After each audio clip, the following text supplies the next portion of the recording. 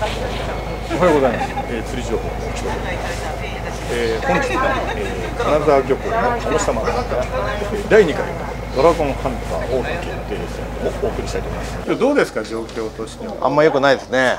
どどっち側に行くとかいろんなところで釣れてうんまあ手堅く行くんじゃここのとこ浅場なんで、うんまあちょっと一発狙うんなら猿島からまあ大戦回りですよね。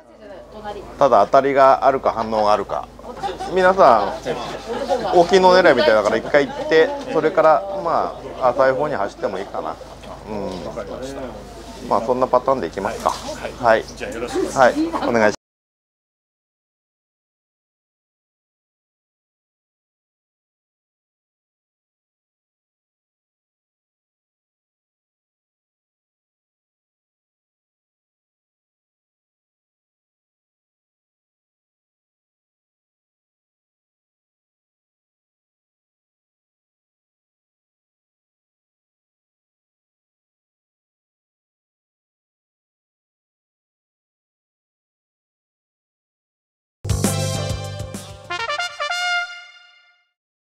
おはようございます。おはようございます。はやぶさフィールドスタッフのイリーナ和美ことイリです。同じくはやぶさフィールドスタッフの鈴木理恵、ズッキーです。えっと私はですね、えー本日は心折れないようにずっと天野で頑張りたいとは思っております。えー秘策としてはですね、東京湾ではあんまり使ったことないんですが、TG を忍ばせてきております。ズッキーはどうします？はい、えーと今日はですね、私は、えー、タチウオ、ドラゴンをジギングで狙っていきたいと思います。で、えーと今日使うジグはいつもお世話になっている TG タングステン素材のジグメインで狙っていきたいと思います。おはようございます山下の山中です、えー今回2回目のドラゴンハンター講座決定戦、えー去年はね1人だったんですけども今年は、えー強力な助っ人でチームで参戦しますはい、えー大阪から来ました桜井と申します。えーっと大阪では立ち寄店園をメインにやってまして、え今年、えーこちらの東京湾でも立ち寄店園が大流行りということで、えータイミングがいいなと思ってやってきました。はい、えっとね、今回作戦としては、えー僕は去年同様天秤で、はいえー去年のね雪辱2位という雪辱を晴らすために、えー頑張りますえーそして僕はもちろん、えー関西仕込みの天野立ち寄でやっていきたいと思います。ジャスティスどうも立野ですおはようございます。富所です。島野の富所です。はいえー今日はですね、はいえーっと特にえ柵がないです。ないですね、はい。どこに行くかわからないので、そうですね出会い系ですね出会い系ですね。もう行き当たりばったりでやろうかなと思います。よろしくお願いしますよろしくお願いします。おはようございます。えー、大和の高槻です。大和スタッフの西村豪太です。今日ははい。大きいの狙いと。もちろんですよ。はい。なんか作戦は？まあもうもう天秤であ間違えた。天野でつい気持ちがね。天野でもうゼロか100ではい。行きましょうね。去年はねほぼゼロでしたけど。僕はもちろん天秤でもデカ餌デカバリで行きたいと思いますんで。道具はね、うんもう最新のおはい互い極栄と C 極、はいまあこれでしょうで行きたいと思います。頑張りますはい頑張ります。はい、おはようございます。えー今回ね、シーガー枠で、えー出させてもらう吉岡です。えーちょっと相方が、えー去年もですけれどもいなくて、一人ぼっちの参加になりますけれども、えー今回はですね、えーちょっとね、ジグ、あのージグでね、ジギングで、えー頑張ってみようかなと。まあ結構ね、餌やられる方が多分多いと思うんで、で去年ね、あの、なおちんが、ジグで頑張ってたのを見て、まあ、今年はね、あのー一緒に頑張ろうかなと思ってとりあえず頑張ってみたいと思います頑張るぞおはようございます。ガマカツです。えー、あ今日は私が MS を使って天秤と天野ダブルで狙ってきます。で山下くんが、C1 が立ちを使って天秤情報で狙ってみたいと思います。えー、2連覇できるように頑張ってきます。頑張ります。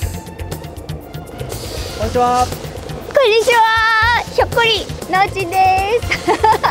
あはいということで改めましてエイテックのなおちんこと井上直美です。エイテックの下地圭介です。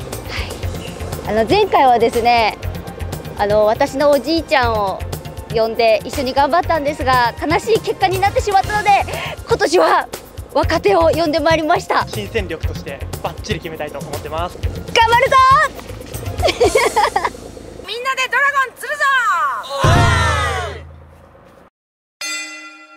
はい、スタートフィッシングは猿島沖、えー、58メートル、えーて予報以上の風に、えー主催者に対するブーイングがやみません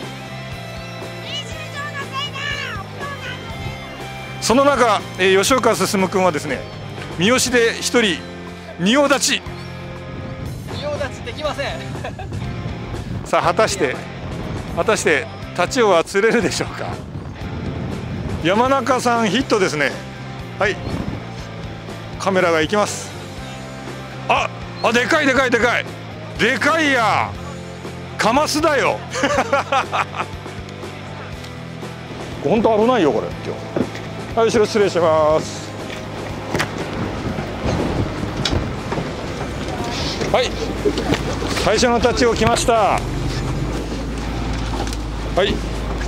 えー、戦中第1号は、えー、山リアの桜井さん。はい。朝一1匹目釣れました。えーっとどうですかね。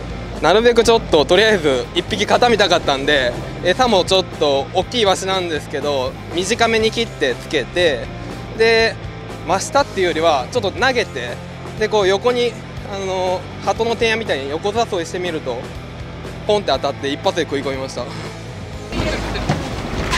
れはどっち？どっち？どっちこれ？これ？あ、先生と一緒に釣りました。これはどっち？どっちもねちゃんと審判がいない。天野だと思う、ほらあでも俺たちも食ってんだよねほら餌。だから両方食ってます両方食ってる。えー、天野と天野と天秤両方食いました、えー、私たち結婚しました。両方ダブルヒット。ダブルヒットで両方の人食った。初めての共同作業。初めての共同作業です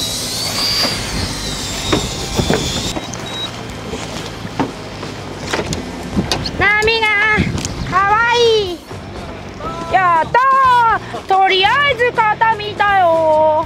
下から3メーターぐらいでちっちゃめのノーテンションフリーフォール。それでもうパサパサっと入ってくれた。餌超大きくしたんだけどなんか可愛い子でございました。50前後かな。ただ巻きでしたね。まずね朝一ご挨拶しとかないと。おっしゃ大き いよでかい。めっちゃでっかいやばいこれ抜けるかなペラペラ。ー ペラペラでございます。おはようございます。とりあえず。とりあえずねいなかったことにならないんで。タングステン。と野紫ゼブラ45です。よかった。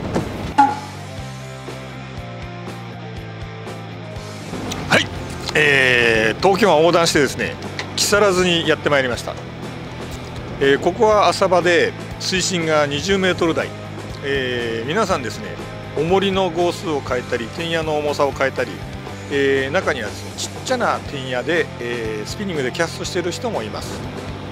どうなるでしょうか？そっち抜いちゃいます。ほら違う。石持ち。石持ち。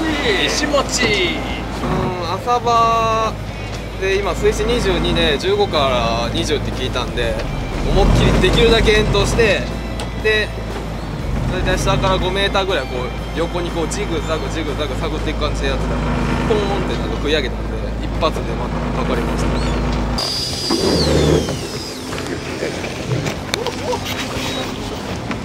危ねえよ。元気。赤いから元気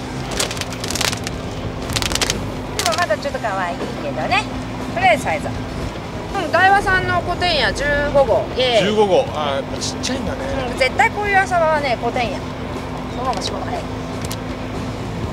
15号のコテンヤに大葉イワシをマークさっきちょっとサイズをちっちゃいイワシにしたんだけどとりあえず型に入れたからサイズ上げてサイズアップを狙ってみますこんな感じ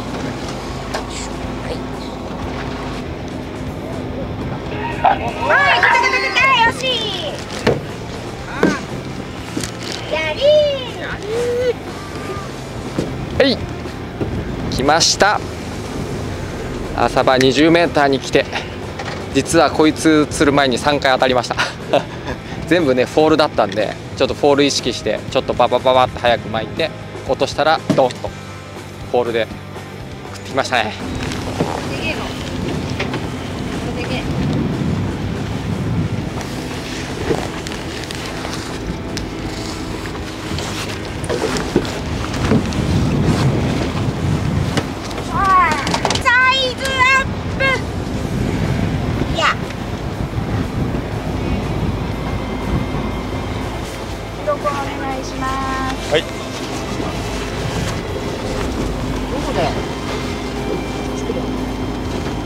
はい。で今回は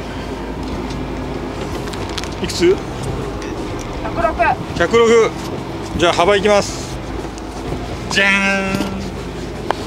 ほら最新デジタル機器が来たぞ。本当だ。アマゾン980円。一番太いとこどこだ？じゃんこれ？いくよ。もうちょい上。もうちょっと上、うんこれでいい、うん。はい。シャキーンねすげえメリコムドットコムだけどいいの？それ。シャキーン。ちょっと待って。69.2サイズなんて関係ないです今やっと来ました。一年越しのタチウオありがとうございます。今実はヨッシーさんがこのグリーンで当たってたんで見逃さず変えてあとはいろいろヨッシーさんがいろいろ教えてくださったんですよ。それでこの軸に変えたら来ました。ホールでした。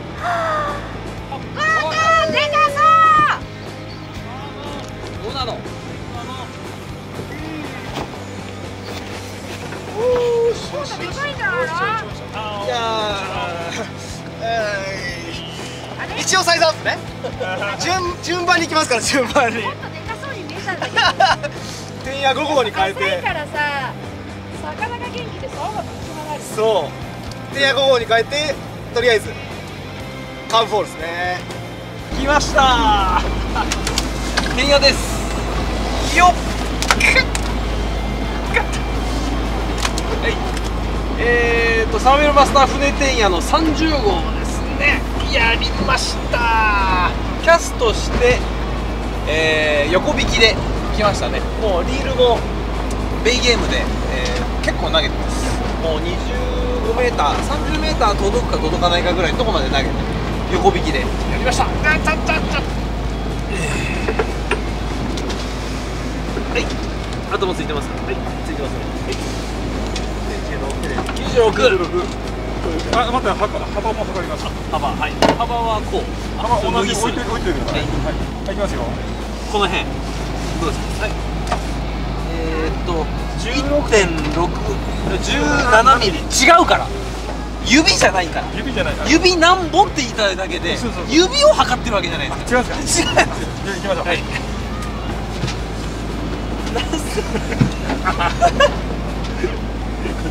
これどうですかねこれ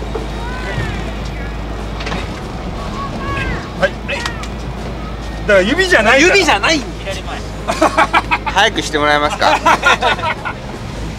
はい、六十三点三。63.3はい。いいぞいいぞダブルヒット。イエーイ。同じようなサイズやねうん同じジグと天野で。両方並んで。はい。中はい、じゃあ自己申告でお願いします。央はい。いきます。ペロン。はい大丈夫まだ私。こ れメーターありません。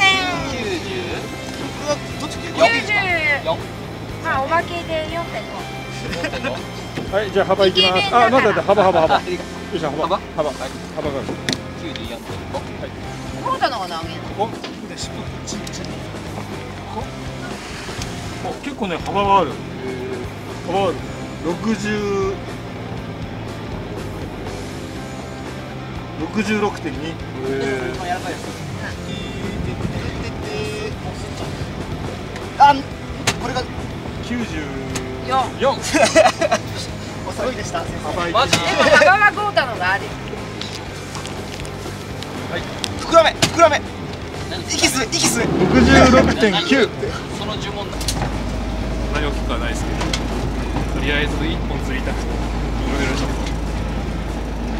りあえず一本ね畳みたかった普通にちょっと誘ってパターン探ってみましたこういうのでかく見えますかね？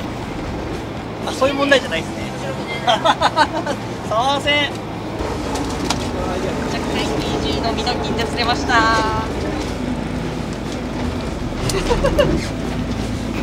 初代のドラゴンです。90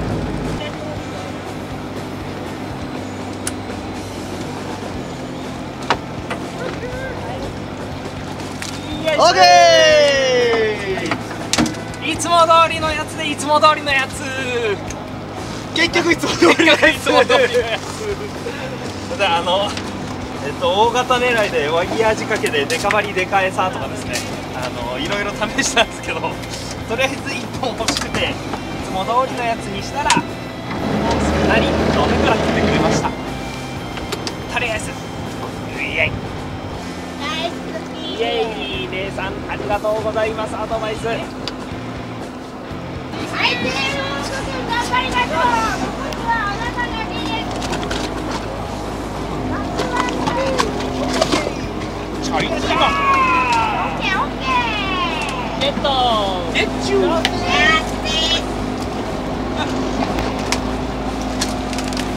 ジャスティスですいい止めた時にねドンときましたドンと。いい感じです。伸びろ！伸びろ！あでも尻尾きれいになる90尻尾きれいにあるよ。じゃあ90はい。90の？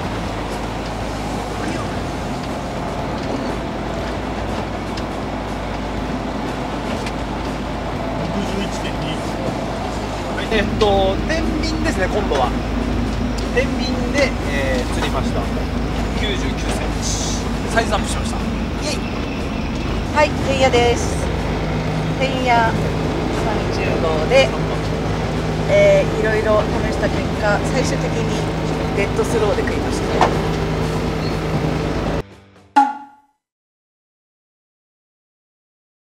た。はい、それではね、古典屋。10号とか15号20号ちっちゃい点や使う時は私はキャストをしてまずボトム取ります。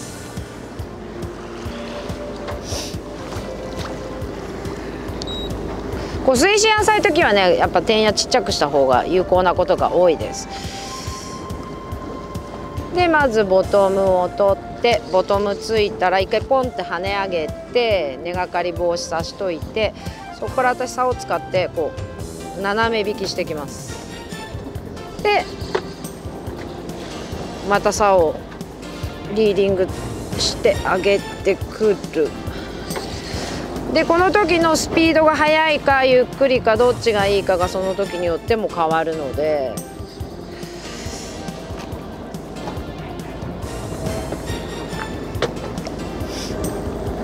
こう浅場のシャローの時は割と糸立ってるよりも斜めになってた方が当たる率が多い気が私はしてます。あともう一つの釣り方としたらもうキャストしないでそのままボトム取って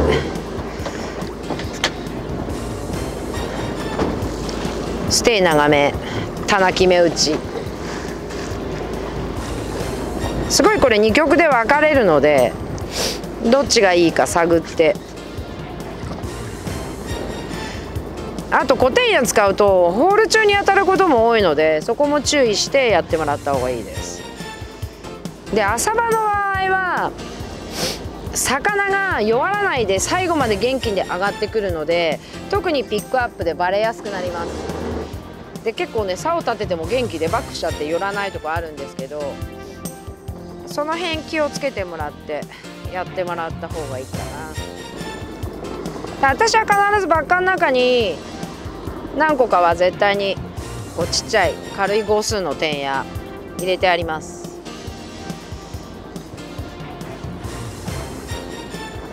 であとね浅場であってもちっちゃい点やダメっていう船宿さんもあるのでその辺は確認してやってみてください。えー、とこの天秤の方でやってます。で餌なんですけど船宿さんが配ってるのが大体このサイズですね。で僕が今使ってるのはちょっと大きめ。ちょっとまあシルエットをちょっとでも目立たせようと思って少し大きめにしてます。これ普通に縫い差しにしてやってます。で仕掛けを投入してもう今釣れてる棚が大体15から13ぐらいもう2メーターぐらいの幅くらいしか釣れてないんで当たってこないんで大体ハリス分プラスをそうしたらその棚までも上げちゃってあとはその場で長めのノーテンションフリーフォールをしてる感じですね。で巻く幅は本当にこれぐらいハンドル8分の1回転ぐらいですね。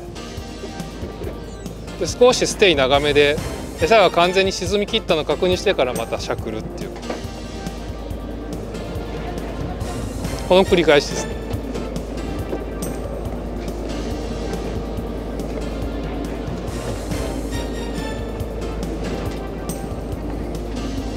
で大体もうこれホール中に食い込んでもう次のこのしゃくりでかかるようなイメージです。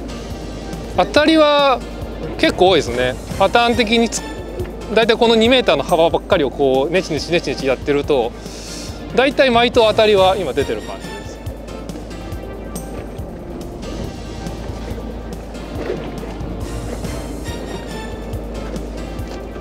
今日はなんかテンヤでもフォールで当たってるんでなるべく天秤でもこのフォールを意識して誘ってあげてると当たりは多いですね。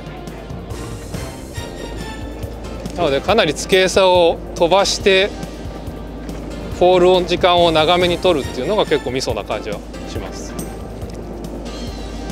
今使ってるテンヤが、えー、モーツスイタチオ天野30号で、えー、ここの水深が今 20m 弱とか178から 21m とか。で、えー、大体ちょっと風が低いんでちっちゃめの餌つけてますイワシ。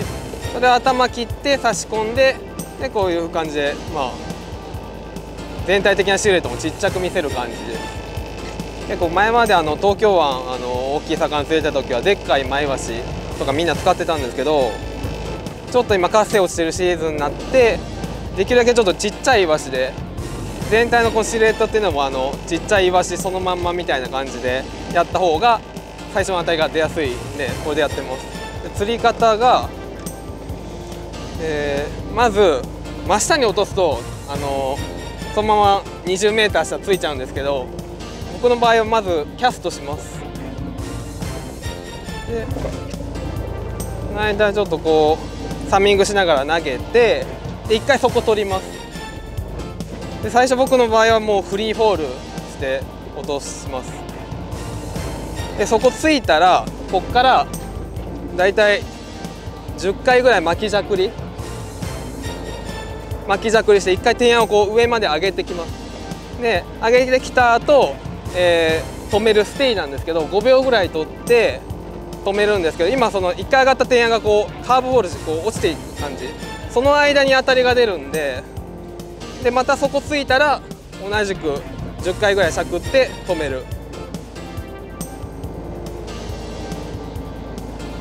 で5秒待ってあかんかったらもう一回そこ取って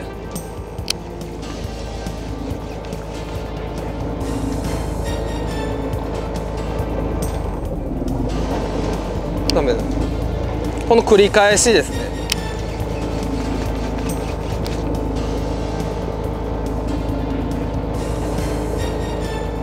この釣り方のいいところはあの、まあ、投げてこうジグザグ探ってくるんで、まあ、その同じ棚をこう何回もあの広い範囲にわたって探れるっていうのとあと10回この巻き尺して上がって落ちてなんで結構棚も一気にこう棚とその横の釣りなんか両方できるんであの今ちょっとこう船下だとなかなかその魚がまばらだったり活性高いやつ低いやつとかあのいるんですけど個体数が少ないんでなるべく広く誘ってで棚もこう大きくさなんていうんですかねこうオートマチックに誘えるんで、まあ、その中でそのちょっとやる気のある魚を今見つけていく感じでちょっとハマってます。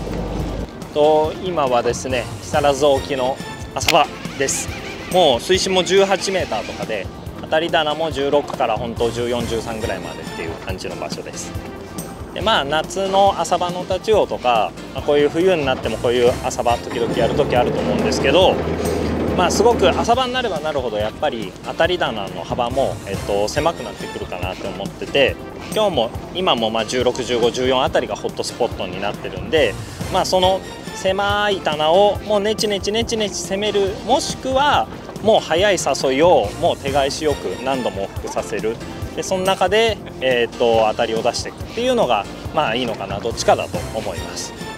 でやっぱ大切なのはその美味しいえー、と当たり棚のところをちゃんとハリスが張った状態でスタートさせたいんで必ず、えー、と当たり棚より 2m 下まで下げてから2 m 巻いた状態でピンとハリスが張ってしゃくるとちゃんと餌が動く状態からその当たり棚をスタートさせてあげるっていうのが大事だと思います。はい、えー、今ですね浅場 20m 台でやってるんですけれども、えー、ジグの方を、まあ、80えー、100g130 これをうまく使い分けて今やっています。で今ね当たってる状況がもう本当にフォールでしかねほぼほぼ当たんないんですよ。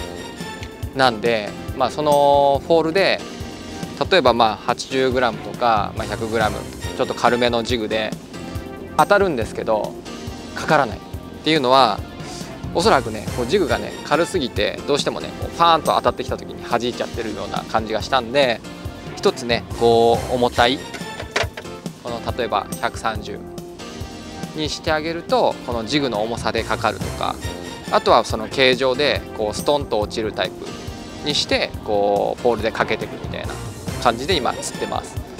でねもうほとほとんどもうそこからね12メーターのところでねこうポールだとねガンって食ってくるんでもうほぼほぼそこで食ってる感じ。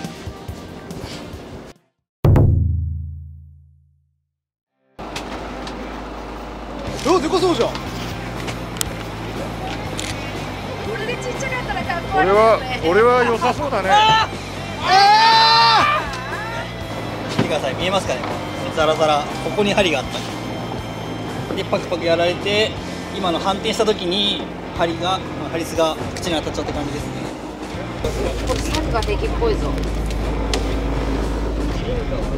1メーターいって。る1メーター超えた5でも幅がサクなのありそうだぞ。これで測るよ測るよどう？あ幅がサクのがある。いいこれで。オッケー。やばいやばい。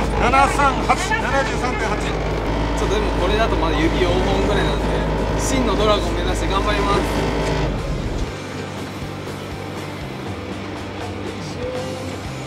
ちょっとマシオッケー。計測ですねこれ。やりました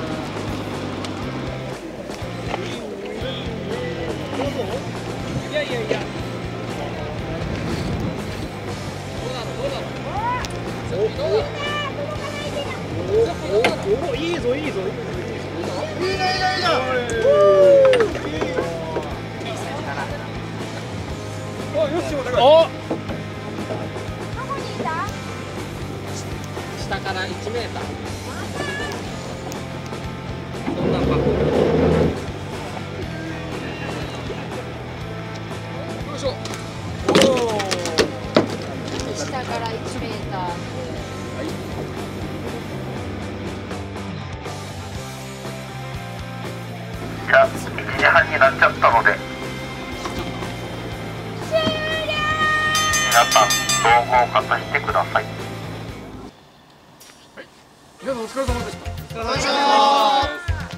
今日の手っ取り早く成績発表からいこうはい。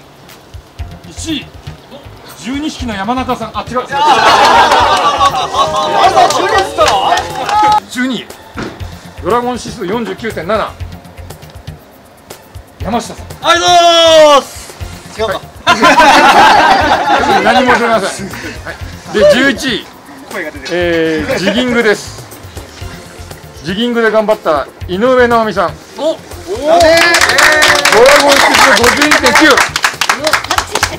はい。で続いて10位、えー、こちらもですね実はジギングです。ドラゴン指数53.7えー、はやぶさの鈴木さん。ズキ疲れちゃう。でもねジギングで4本。うん素晴らしいジギングで素晴らしい。はい、続いて9位は、えーこちらも初参戦ですね、こちらね、鈴木さんと同じで、ドラゴン指数55.1、まあ、半ドラゴンってことですね。縦の作あはい、半ドラゴンです。半ドラゴン。で、えー、8位は、えー数ではぶっちぎりだった山中さんが、えードラゴン指数は60.8。はい、ありがとうございます。去年準優勝だったんですね。今年はちょっと数にいってしまうと。はい、すみません。謝るとこじゃないです。7位はですね、ドラゴン指数が63.1、えー、チームはやぶさの入名福さんです。無難なところ無難な順位頑張りました。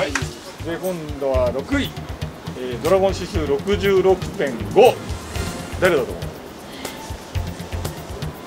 高槻さん。あ天秤仕掛け。はい。あでも6位ですよ。そろそろここからあのベスト5入ります。第5位、ドラゴン指数69.1。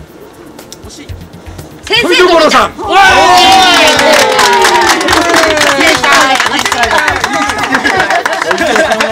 でここからはメータークラスの、えー、立ちをつった方が入ります。4位から。第4位、ドラゴン指数71.2。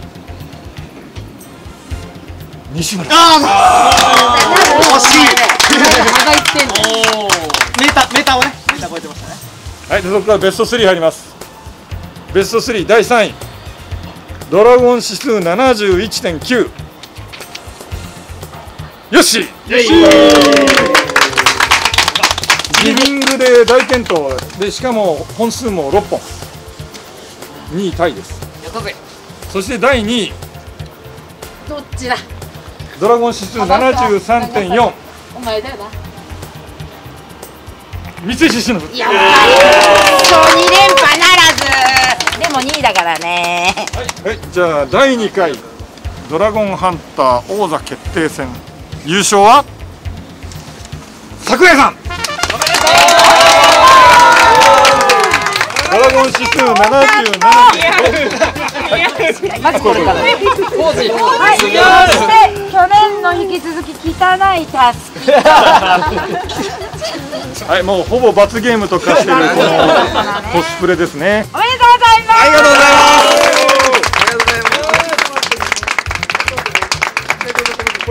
というわけで、えー今年もドラゴンハンター王座決定戦、えー大盛り上がりのうちに終了でございます。負けちまった桜井さん話していただきました。おめでとうございます。最後に一言カメラ目線で締めをキングなりました お疲れ様でした。お疲れ様でした。いやー結構難しかったね。ね惜しかったね。4位と？月が？6位。六位。あ全然。中途半端。まあでもね、まあお互い天野スタイルと天秤スタイルで、まあやるべきことはやり抜いたかなと。途中ツッキーがあまりに釣れなくて、ブレて天野に来た時点で ちょっと危なかった。よね あの辺りからね。そっからだいぶ盛り返してね。ね。結局数は、数はまあ6本とか取れてゴタ君も。もうロックかなだから。なんだけどなんか大きいのがねなかなか出づらい状況でした。まあ普段の行いかな。だね。改めましょう。来年に向けて改めますんで。ますんで。また来年頑張ります。はーい。お疲れ様でした。お疲れ様でした。はい。えーっと、えー順位的には、えー僕が5位で佐藤さんが っていう感じでしたけれども、まあとりあえず、えーまあベスト5にはは入れたので、まああのね情報共有しながらねこううまくできたかなと思います。まああのとりあえずはね、えー去年がね結構ボロボロだった。あの今年は僕はリベンジできたから。立野さんこ今年あの初出場なんで、来年多分立野さんがやってくれるんじゃないかなと思います、ということで来年またよろしくお願いします。お願いします。ということでありがとうございました。ありがとうございました。はいお疲れ様でした。お疲れ様でした。畜生2連覇ならず。惜しかったですね姉さくっそ長さはね勝ってたんですよ、んちょっとの差だったですただね幅が負けちゃったんですよ。いやー惜しかったですね。悔しいっす。まあでも2位ですからまあ来年もう一回返り咲きますよ立ち往女王として。まあでもね皆さんの期待は裏切らないだけの順位にはとりあえずなれたかなとは思っておりますが、山ちゃんちょっと今回はどうですか？はいちょっと不甲斐ない結果でしてで今日一番の大物であろうものを水面直下でばらすという失態を犯してしまいました、はい見てました。これはちょっとあれあれ絶対でかかったねああれいけたらガマカチーム結構ないい順位だったはずなんだけど残念。ちょっと本当悔しいですあればっかりは。本当だね。はまあそんなわけでまた来年も楽しみたいと思いますんで、はい。よろしくです。お疲れ様です。はい、どうも、はやぶさチームです。えー、今日は作戦通り行ったかどうかですね。作戦通りは行ったんじゃないですかね、ええ。心を折れずに折れずに。折れずにええ。頑張るっていええ。う目標は達成できた、もうずっと私は天野で、ズッキー私はずっと終始ジギングで。ングで、はい。はい、あの実は二人でですね、先週も先々週もですね、鴨下松さんに練習に実はこそ練してまして、今日が実は一番良かったです。はい。まあその割には順位は上位ではなかったんですけども、まあ超過としては満足です。はい。そうですね。はい、本数は取れたかな？ええ、本数取れたけど目標達成です。はい。はい。ええ、まあ一日今日楽しかったです。ありがとうございました。はいありがとうございお疲れ様でした。お疲れ様でした。どうでした？いやー去年のエイあのチームアルファタックルテイルウォーク、はいかなり苦しい結果だったのでそうなんです。えーっと初挑戦ということでお名返上を狙って頑張りました。お面お面お面って何ですか？何のお面ですか？はいということではい、はい。結果的には、えっと、僕の方天野でゼロでした、でも私も一本しかでも今日なんか気持ち負けしちゃいました。なんかそうですねはい自分のペースがすごいちょっと崩れちゃって、ね、そんな感じでしたね。今年はビリケツになっちゃいましたがまた来年も呼んでいただけるということで来年は優勝 目指して頑張りましょう。そうですね、はい。また一から勉強し直します、はい。応援してください。ありがとうございました。ありがとうございました。お疲れ様でした。お疲れ様でした。